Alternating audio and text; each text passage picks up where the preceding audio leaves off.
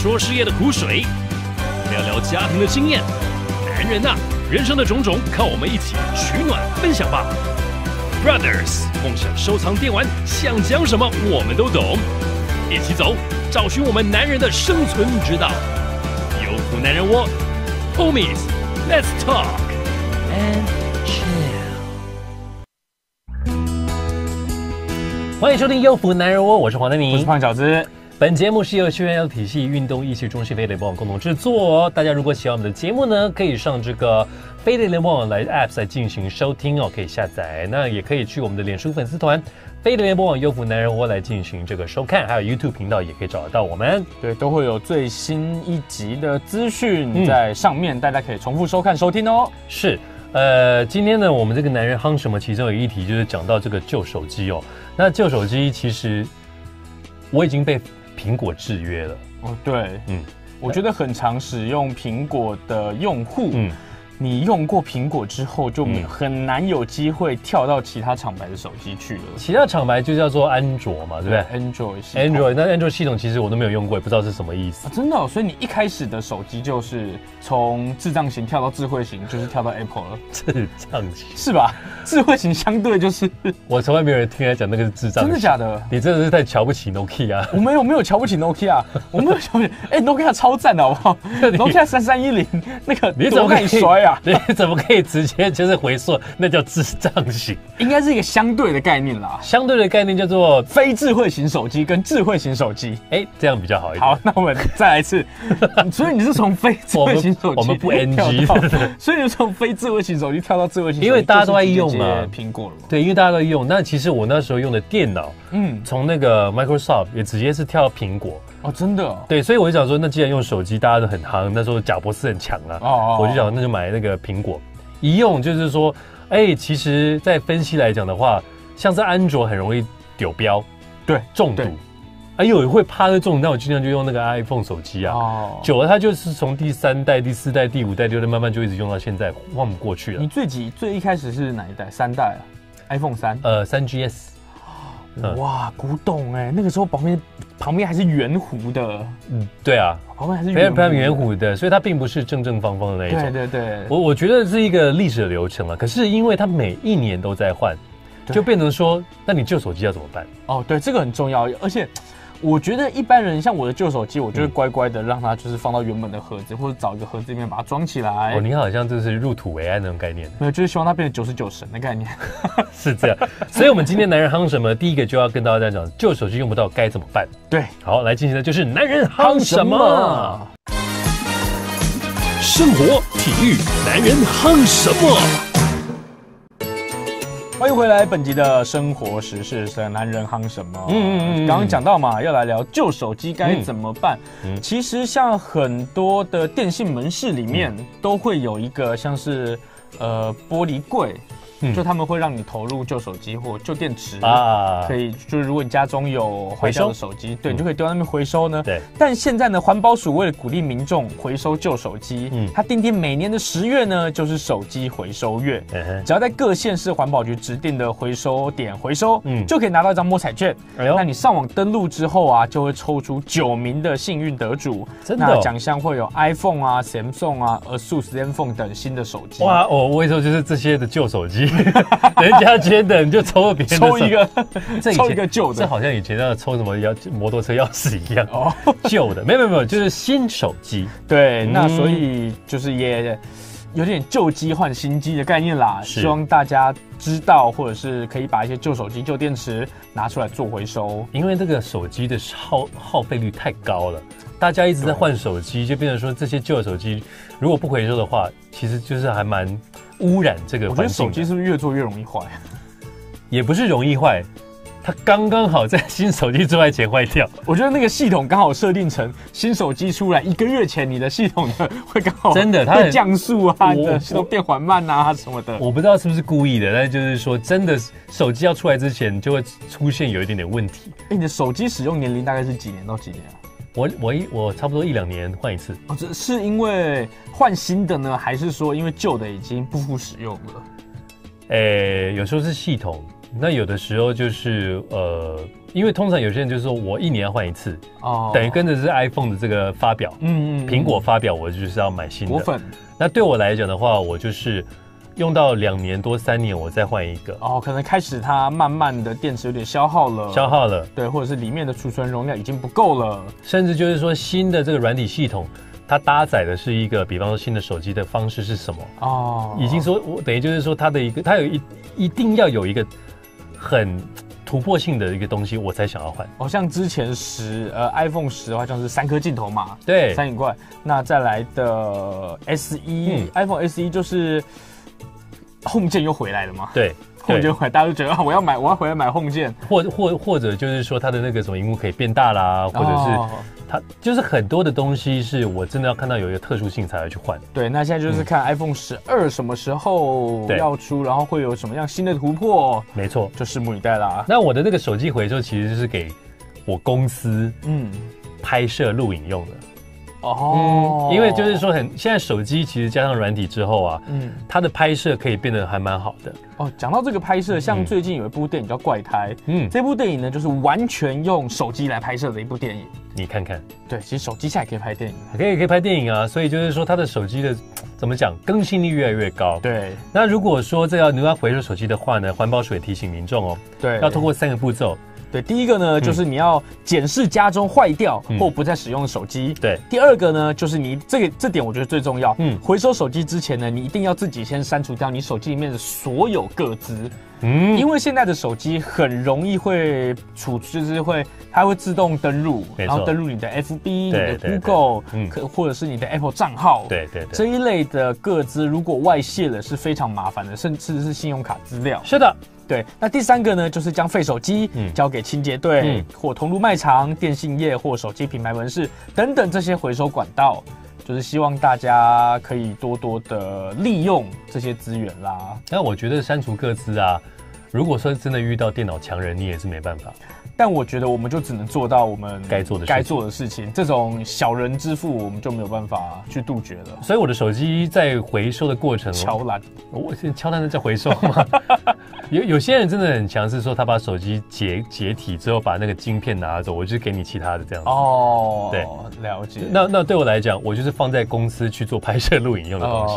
所以我觉得手机一直在换，那未来手机的模式它只只会越来越多元化。然后也因为它会越来越便宜吗？我觉得便宜倒是不一定，但我觉得，呃，依照现在的趋势啦，我觉得手机又会开始慢慢回归到以前对。的样子，以前的折叠机。是是，像现在有我记得像我忘记是神送还是什么的，出了一只折叠的手机，折叠的触碰机。你看，又开始回归到以前折叠机，然后变得平板。对，现在又回来折叠机的样子了。以前的折叠机是下半身是按键，上半身是荧幕，所以可以折。对，那现在是它连荧幕都可以折起来。对，它就是你折成 L 字形的时候啊，它上面那块变荧幕啊，下面可能变键盘。我啊，你翻开之后呢，整个都变成荧幕这样子。现在很多人像我这种没有办法离开 i iOS 的，嗯，这种所谓的苹果系统的，对，我就很期待他们可以出，比方说手机是可以折叠的。其实会有点羡慕其他牌子，但你就是转不过去。没有办法转。如果苹果，比方说它是比较厚实，嗯，然后打开三折变成是一个像是 iPad 类似的那一种。哦，你是说可以变成像散开来的？对啊，那我一定换。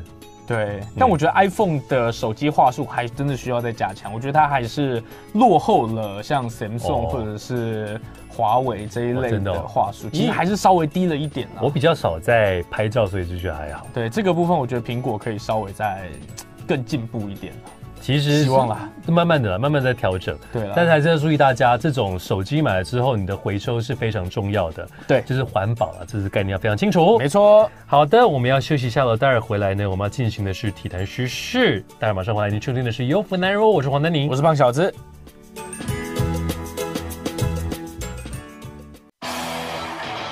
欢迎回来，优福男人我是黄丹妮，我是胖小子。现在进行的是体坛时事。体坛时事呢，是前一阵子比较遗憾的一个新闻呢，就是这个官方已经证实了，Fox 体育台呢有三个频道将要退出台湾，在年底的时候。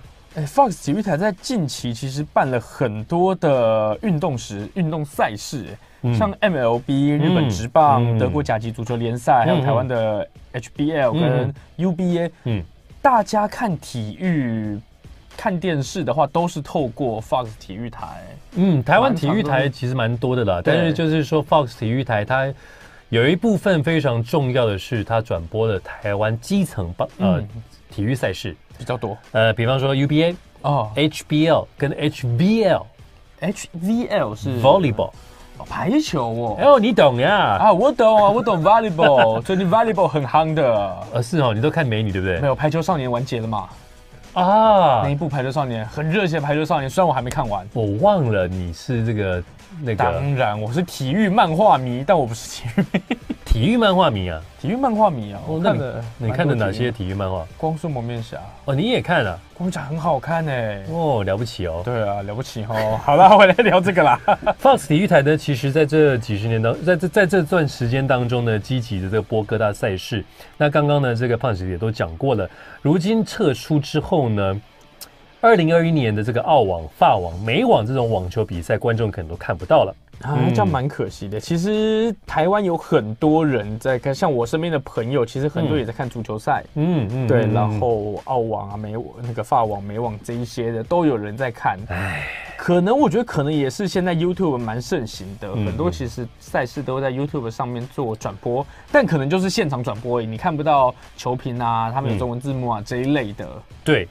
那这个我当然就是，当然就是大家看的这个呃方式跟习惯已经在改变了。嗯。可是我们还是要了解一下 Fox 体育台为什么会在台湾。对。最早名称叫 ESPN 卫视体育台，哦，那是隶属于迪士尼旗下的 Fox 国际电视网。所以 ESPN 就是 Fox 体育台的前身。前身。哦。然后呢，二零一二年迪士尼将亚洲 ESPN 股权卖给了 Fox 传媒，哦，叫做 ESPN 卫视体育台，更名叫做 Fox 体育台。二零一二年更名之后呢，在二零一九年三月，迪士尼又并过了 Fox 传媒，啊，包含了就是呃 National Geographic 啊相关的，呃，因此呢，Fox 体育台再度重返这迪士尼的怀抱。哇，我把这个卖给你，然后最后把你直接并吞起来。对，而且那时候是便宜卖，其实。哎，等于就便宜卖，现在又要贵的买回来，其实不合理了。对啊，但是迪士尼它就是我并吞是非常强烈的，它已经变是，它已经变成一个很大的媒体平台，它是一个帝国。对，它已经是迪士尼帝国，它不是一个迪士尼集团。没错，那只是呢，二零一九年三月才刚并购的这个二零二零就是要把它退出，其实非常的遗憾。嗯，呃，在台湾的 Fox 呃集团早在二零年就进驻了嘛，哈，对，包含了刚刚提到的国家地理频道，嗯，卫视中文台。Fox 电影台等频道，哦，那是由台湾团队自主这个经营的哦。嗯，那隔年呢，Fox 体育台就正式开播了。时隔七年，累积的大批的体育迷，对这个体育迷而言呢，他们的退出是很莫大的损失。对，台湾可以看的体育频道，当然还有像是未来啊，还有就是这个什么呃呃智林平体育台，智林平台，然后还有就是呃，好像还有还有很多了。艾尔达频道，艾尔达体育台，艾尔达也是在电视上看得到的。对，它是在那个机上盒上面看得到。嗯嗯嗯。但是 Fox 体育台它能够接触到的是比较广的，比较广。国外的赛事蛮多都有它的，只是呢，你要找国外的就一定贵。怎么说？二零一八年的世足赛，尔达光买下台湾的独家转播权益就花了两亿哦。然后在中国版权争议连连连的这个英格兰足球超级联赛也是，总金额就高达了五点六四亿英镑。哇塞，英镑哎，五点六四亿英镑。所以说，如果你要独家转播权，不管你是未来 Fox 或者是任何的频道，你就是要独家在这个地区的话，它有一定的价码。对，那价码有了之后呢，哎，观众的这个收听的一个概念跟方式已经在改变了。嗯，我已经不看啦，我已经不看电视了，所以我顺势着我也不会再看体育台的频道。那收视越来越降低。我收的费用越来越少，可是我要付一样的钱。对，那那那我怎么合得来？入不敷出，入不敷出。呃，比方说 NBA 好了，嗯，我就会下载 NBA 的软体。然后如果说大联盟好了，我就下载大联盟的 App。哦，直接在上面点线上观看，它就会给你，只是没有中文而已。我是对啊，因为我我看就好了，看就好。有些有些体育迷是独项专项的体育迷。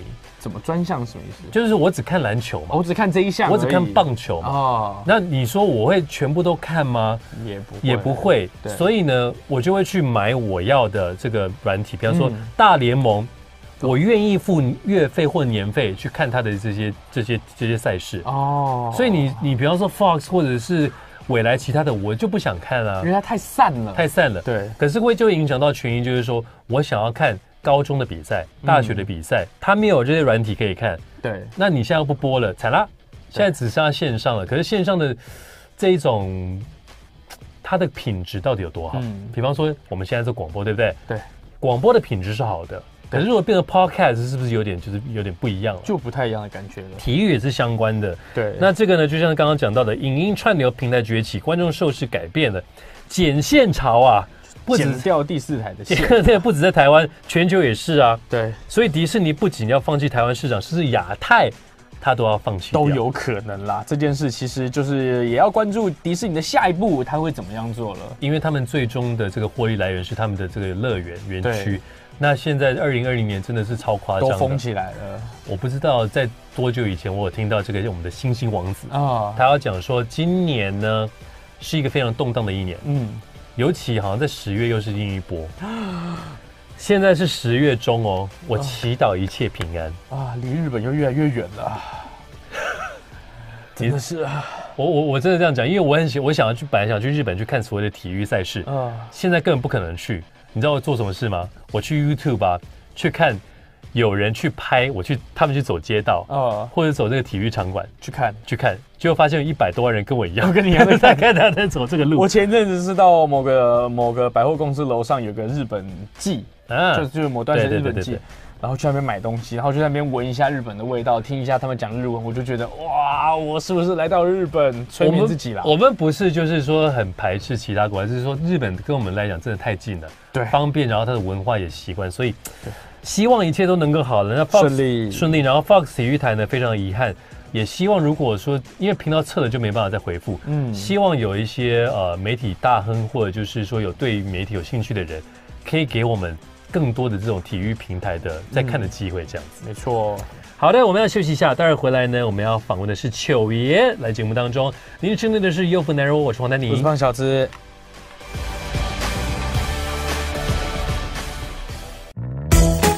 男人开团去，买都买买起来！嘘，不要让嫂子听到。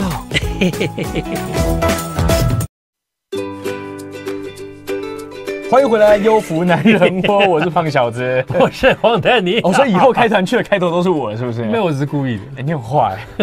欢迎回来，男人开团去。今天要开的团呢，是一个非常大的团。这个团呢，应该不会有人开团来做这件事情吧？哎，好像有可能，有可能，有可能。嗯，你有可能，我为什么我不可能？没有，这个买房子这件事情很难有开团，大家找自己适合习惯的。哎，可是可能有会一群人一起去看房，就约一约。可以啊，那那新房没错，看，没错没错。或者就是说大学生啊，比方说未来我们这个毕业之后，大家一起去租房子，我们去租房子，对，变成是从这个什么校友变成室友，同学变室友，同学变室友。那我们就变成说要跟大家一起去租房子。其实租房跟买房，它的妹妹杠杠非常的多。对，所以今天呢，就要来跟大家聊一聊，到底是租房子好呢，还是买房子好呢？嗯，你是买房派？哎，有小孩的话，你当然希望能够买房啊。啊，像我就是租房派，因为毕竟现在。呃，单身，嗯，然后目前薪水也比较养活自己而已，还是。对，比较没有那么多余的钱去考虑买房这件事情，房价越来越高哎，你知道吗？房价它只是它不会再降低了，所以呢，就有很多人讲说，呃，像买房派的就会跟租房派的讲说，你现在不跟一点，嗯，去买一个属于自己的房子，以后会越来越，你的薪水只会越来越薄，嗯，那重点就是说你的这个房价。现在能够去跟的话，它未来它只会提升。那比那那当然买房子不是一口气就全部钱就是在那边，对，它会有贷款的额度啊，相关巴拉巴拉巴拉等等。我们这边会跟大家来去做一些讨论，这样子。对，当然就是说租房子租到最后，你会觉得说你好像在帮房东在缴这个贷款。对。会有这种感觉。嗯，所以今天呢，要可能是跟大家稍微讨论，我们其实也不会特别说是租屋好还是买房好，可能就是以这两者的观点，毕竟我们两个刚好是各自一派，以这两者的观点带给各位听众说，你觉得到底是买房好还是租房好呢？是。对，第一个呢，我们要来聊，其实很多人是说买屋是付贷款利息，租屋是付租金。怎么样比较划算？因为不赞成买房的人认为啊，就是房贷会让每个月动用资金会变少，对，生活品质啊变得不好了。对，但是支持买房的认为说，房子啊可以保值哦，嗯，可以抗通膨，对，自己买房缴房贷远比租屋刚刚讲的帮房东养房东养房子来的实际。对，但是我我我我比较不赞成，是因为对，因为在还没有经济能力的时候，如果你真的要买房，嗯，会扣掉你每一个月可能将近一半的薪水，嗯，那自然而然你的生活品质就会降低。对，那这个呢，可能不是只持续一两个月而已，可能会是好几年的时间。没错，所以其实对未来就会有这样的担心。所以有些人看你怎么去分析啊？你知道吗？有些商有时候看商业杂志啊，或者是呃，不管就是说你的这个工作的收入的能力在哪，比方演艺圈，对，哇，穷的很穷，然后有钱的就很有很有钱，但是他们是努力过来的，光鲜亮丽的，光鲜亮丽，但是买的房子可以就是在顶楼。嗯，那前一阵子过世的小鬼，嗯，他呢有一个新闻是说他要跟一个房子给他的家人，嗯，然后是买了要四千多万。三千七百万，呃，在在，哇，你怎么记得？我记得有，我记得这个数字啊，在北投嘛，对不对？对。然后，所以就是他为为了这一个家人家人去努力的工作。嗯。那我也有同事，就是他为了要有自己的房子，嗯，虽然在台北，可是呢，他买在桃园。哦，他在台北工作，但他买在桃园。他就桃园房价比较低吗？呃，就是会比较低一点。你就离开的都市区，你会比较低。他说，不管怎么样，都要自己的家。一个自己的地方，那这个家可能没有那么的贵，但是呢，那个不管在任何地方，他一定会有就是升值的机会。嗯，那我付的钱不用那么多，像在都市压力那么大。对，但是我在那边通勤或过程当中，我知道未来是什么这样。所以，呃，之前像我刚刚讲的，看很多商业杂志，有很多人他会觉得说，嗯，我损失就是努力工作，为了这几年的辛苦，是为了未来我有自己好的生活。对，哎，这房子涨了，我卖掉。我就可以再买一笔，对我赚一笔，然后再做它就是一个理财的方式。对啦，可是它就是一个你要怎么去看这件事情？因为租房子的有一派啊，我去问他，好像就是说，我就是不想要有一个固定的家哦，我希望可以五年换一次新的环境，或十年。没错，然后他说，最终我可能如果我甚至不生小孩，我会住到那个老人长照中心什么之类的，所以我也不需要有一个家在那里了，我也不需要有个家，我就是。收入好好的，然后去做其他的理财方式。对，然后呢，让我就是说不同的，就像是有人买车，他不会用买车的，他会就是租车，或者就是说这台车，呃，我我会卖掉，然后卖掉的钱去就贷款补贴下一下补贴下一个，然后就是说就就是分期付款。嗯，到一个阶段我再去换，我就能够一直换。换新车。有些人他就是流浪，不是流浪汉，就是他就是说我这个浪子怎么样？我每个区住一遍，嗯，所以那种东西又不同了。我觉得其实跟家庭的形式有差耶，嗯，像是因为像好，假如说你刚刚说呃结婚但不打算生小孩子，或者是单身的，嗯，像这种它变变化的因素可以很大，是因为你自己一个人，或者是你跟你另一半而已。可是如果有小孩的话，你就会担心说，如果我临时房东不租了。真的，我临时要离开我原本租屋的房子的话，麻烦，我该怎么办？该怎么办？小孩的学区就在这，我该怎么办？而且我必须要找到可能好三房两厅，我可能要要有卫浴，真的，我要有对外窗，我要有阳台，我要有离啦这些东西，我才可以把我的家庭安顿好。嗯，其实这对于一个有小孩的家庭来说是蛮大的困扰的。你知道吗？以前早期就会有，就是父母亲努力工作，嗯，给小孩一人一套房。啊哦，以以前常有这种事情啊。对，然后小朋友就自己的房子，可是现在工作压力越来越大，你有小孩，你也好像不容不一定能够帮他养买到房子这样子，所以就是变成说，你是或知道这房子要让给他或什么的，就真的有一点很难去处理。你有你有财产，你就是会有这种问题。对，所以有些人就会说，那我就是用租的这样子。对啊。那如果说你要买房的话，它又有一定的规一个门槛了。门槛对，像其实呢，像是你有足充足的自备款，是买房最基本的条件。对，那它有分一些，像你要先算清楚你手上有的资金，嗯，不管可能是你每个月的薪水，是那每个月的房贷支出呢，不尽量不要超过月薪的三分之一。嗯，对，这是建议啦，因为我觉得如果超过三分之一的话，可能就会压缩到你生活的品质。没错，可能有时候你的另外的投资你也没办法做了，或者就是说，如果有一些你要紧急的事情的时候，你也没有足够的现金去应应。对，那所以呢，你会觉得，如果你觉得这笔房贷支出会排挤到其他的预算，例如你付了房租就没有办法养儿育女，没有办法买足个人的人身保险、医疗险，或没有办法每个月再提拨出一笔钱来提呃提前做你的退休规划，那么你就要仔细评估说是否一定要买房。现在比较好的是，呃，网络上很多资讯是公开的，嗯，呃，比方说各个房仲业。的这个官网，嗯，或者是他们的 apps，他们都有在告诉你说，你你喜欢什么房子，规划出来，嗯，你喜欢你要哪一区，多少钱，嗯，多少房，什么样子的，中古的，等排完之后呢，他会跟你讲价格，嗯，你看到哪个有兴趣，再点下去之后，他会告诉你说，来计算一下，如果你贷款多少会多少钱，哦，可能你的月薪多少，你贷款的趴数多少，然后你可能每个月需要付出多少钱这样子，然后全部付完之后，你的利息会多付多少钱。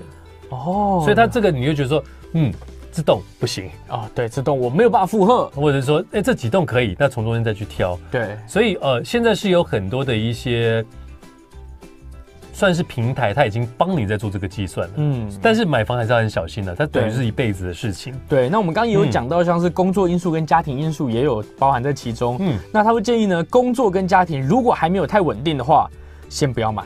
没错，对，因为房屋的买卖相对于租屋的交易，它的成本啊，它高出了非常多。是的，对。那其实台湾短期的房屋买卖，嗯，其实它的平均报酬率会比较低一点，嗯，风险会比较高。是，对他也会建议，如果啊你的工作跟家庭还没有稳定，对，可能短期三到五年可能会有些变动的话，会建议用租屋的为主。是，但是呢，如果你确定你未来可能七到十年或更是以上，你的工作、家庭收入都稳定下来的话。不会搬迁，才可以才比较建议去考虑买房子这件事情。所以呢，这边呢要告诉大家，就不管你要买房啊，什么房子还是干嘛，你要先考虑到你的就是预算，考虑到你的财务状况，嗯，考虑你的机会成本。那机会成本就是说啊，你付了这个押金之后，你有没有一些其他呃要负担更经常性的，比方不动产税啊、保险。就是你买一台车，你不是买车，你还要付加油，对啊，你还要就是保养之类的东西。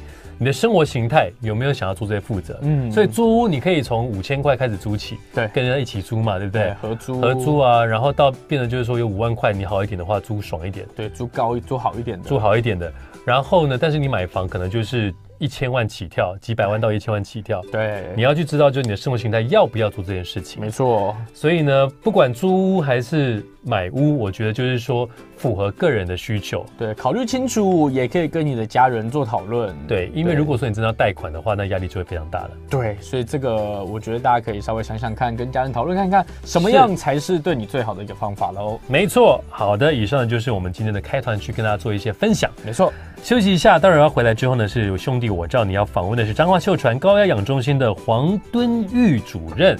您收听的是优福男人物，我是黄丹宁，黄小子，待会马上回来。